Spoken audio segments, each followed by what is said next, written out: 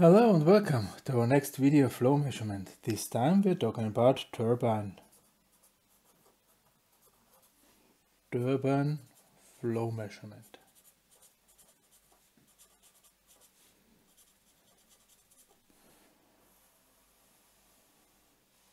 How is it working? It's easy.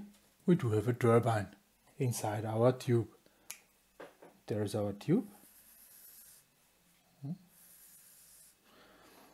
In here we have the streaming liquid,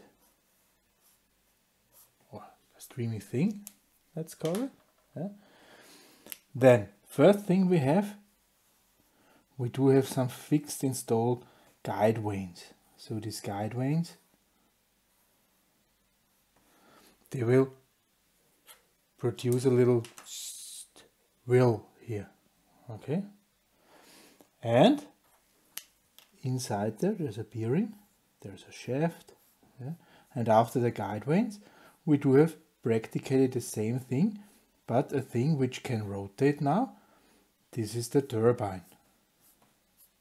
Okay? The guide vanes producing as well, and the turbine is straightening them out again. This means the more flow, the more spin will the turbine have there are then little magnets or something like this on the spinning shaft and out there we can measure without touching how many RPM this turbine currently is doing. That's it. That's the principle. Turbine flow measurement. Of course, the turbine and the velocity and the viscosity of this liquid and so on, they need to be calibrated. But then these things, they work really well. Yeah? So if the viscosity and thing is, is constant, they work with high accuracy. Yeah? Also, temperature for turbines usually no, not a big issue. I can also measure liquids which are not conductive. Disadvantages is that the viscosity needs to be known, yeah, so that I can calibrate the thing. If there are some particles inside, and fibers, is fibers especially, yeah, they will clog. They will clog the turbine. Yeah, pooh, that's not very good.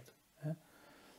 And the measurement range should not be over overwhelmed. Yeah, overwhelmed. The, the, the, measurement range range should be kept, yeah? because then it's speeding up too fast. Yeah, and then the bearings will get hurt. Let's call it hurt. Okay. Turbine flow measurement this inside a tube. Sometimes turbine flow measurements are also used in bigger areas. Yeah. So let's say if you have a power plant and this there's the outlet, yeah, and this outlet is broad, let's say I don't know three four meters, yeah, and it's concrete, so there are concrete walls here, yeah. So this is the turbine outlet, and we want to know how much water has passed the turbine there's the stream streaming away yeah usually you can step on here and you just use a thing like a selfie stick but not with the photo taker it called smartphone on the other end but with some little turbine and you just stick it in here yeah? you stick it in here measure how many flow, you stick it in here, measure how many flow, you stick it in here, measure how many flow, and then you know at least the velocities here, and from the velocities you can calculate on the whole area, okay, in different heights and so on. Yeah. This would also be turbine flow measurement.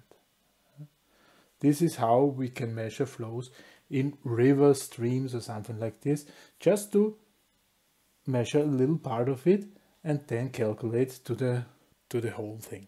Turbine flow measurement. Also very easy principle. Next time we're talking about thermal flow measurement.